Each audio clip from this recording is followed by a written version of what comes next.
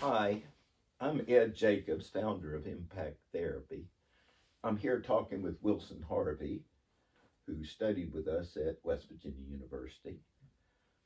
Today we're going to be talking about impact therapy and school counseling. First, Wilson, why don't you take a minute to introduce who you are?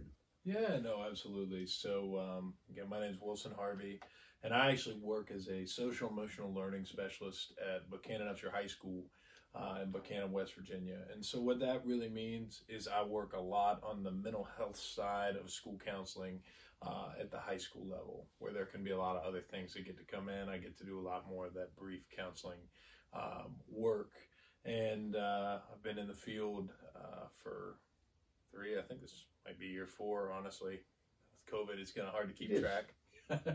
um, and it's been uh, it's been a good ride. We graduated from WVU's master's program uh, in 2019, and uh, and yeah. And you were a school counselor in Virginia, mm-hmm. and then now are in West Virginia. That's right. Why do you feel impact therapy is useful for school counselors? Yeah, well, I think when we look at the school setting, one of the things that's so critical is that things are kind of quick, right? There's time constraints on school counselors. So that's one of the first things I look at. Like you're you got Tommy who needs to go back to math class. And so if you're trying to make an impact, you want to do it quickly. But there's also the key that kids learn through like anybody else through multisensory means.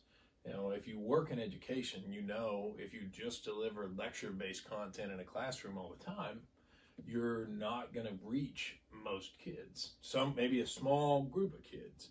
Um, but with when I'm doing counseling, when I'm doing, you know, some of that therapeutic type of work, I've got to be able to pull in all different kinds of modalities that try to engage kids' senses, and that's what really helps things stick. And I've seen that really come to play just like a, a creative lesson is going to stick more with a kid.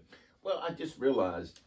Why don't you tell, in your mind, what do you think? What is impact therapy, and why is it a little different than, mm-hmm. say, other approaches you've seen your colleagues do? Or... Mm-hmm.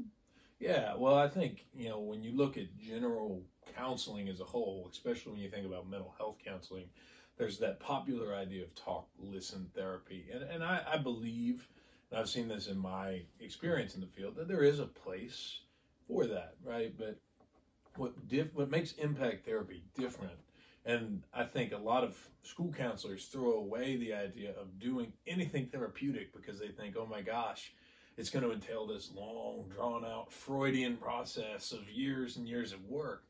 Impact therapy is designed to work quickly because you're drawing in on those multiple senses and modalities in that multisensory mode, which is the critical component of impact. So, th- this is what allows a school counselor to really focus on mental health. Um, and it's really critical because I've also found not every kid is going to be able to solve more or less their own problems through talk listen therapy. Sometimes they're going to need more concrete examples. So it, it's a really powerful tool. Just so person watching this, what are some of the things that you use that you would say are impact therapy or your favorite techniques? Mm-hmm. Well, a couple things that um, are really, really prominent in my work. First of all, is a whiteboard, just like this. Uh, being able to write things out. Um, and when you use creative techniques, impact therapy has a, a base in theories like REBT, CBT. Um, transactional analysis is a big one I'll mention here. Um, you know, Adlerian and, and reality therapy. But I do a lot, like if you're familiar with CBT, of disputes on the whiteboard, right? And so you'll do like true and not true grids. Um, if you read the book Impact Therapy: The Courage to Counsel, you'll see more about those, uh, and certainly in other demonstration videos here. Um, so whiteboard's powerful because it draws the client's eyes up, and it also helps them then to visualize some of the work that they're doing rather than just talking it out. Uh, another big one for me, I love, love, love the use of chairs when it comes, especially to psychodramas. Um, there's a theory, transactional analysis. Uh, if you haven't heard it and you're watching this video, I definitely encourage you to go um, look into it. Uh, similar to parts work, and you hear about internal family systems, but uh, as an earlier theory with this idea of ego states, um, I'll have students sort of act out the different ego states that they're in, the different parts more or less that they play. Um, if and, and we really work on trying to strengthen one part. So I might have them switch seats and we go back and forth. I've got a small chair sometimes. I have them go back from the small chair into this bigger, stronger seat. You know, they're trying to build and strengthen what we call their adult rational thinking part. And just doing that, that movement, I've seen have tremendously more impact than if I'm just sitting here working with a kid and trying to help them through talk, listen, develop rationality. Yeah, I think the, the, the chair is not the gestalt therapy Mhm. kind of empty chair, but No. just them seeing they have choices, Mhm. things like that. No, They're literally seeing themselves move from one place to another. Mhm. And I think sometimes that projection, when you sit down in that chair, if I say this is the adult chair, you're now projecting, you know, okay, this chair, I've got to think a little differently because I'm assuming this role. And for some students, they've not seen, okay, they've not thought through rationally. Like they've not used that part of their brain. So they're, by virtue of that, just starting to do something that otherwise they might say, I I don't know if I can do this. They might not have the motivation or the self belief to be able to get started. One last question. You've presented lately at the ASCA conference and you did a podcast, I think, that Mhm. was going to be nationally distributed. What were your highlight? Why why do you think impact therapy is so good for school people? I mean, what did you present at those at the con- Yeah, well, we were we were really fortunate to get to present. Um, I worked with um, Richard Tinch, who's the chair of the ASCA board of directors, um, and um, who who learned a lot in his grad program about um, impact therapy as well.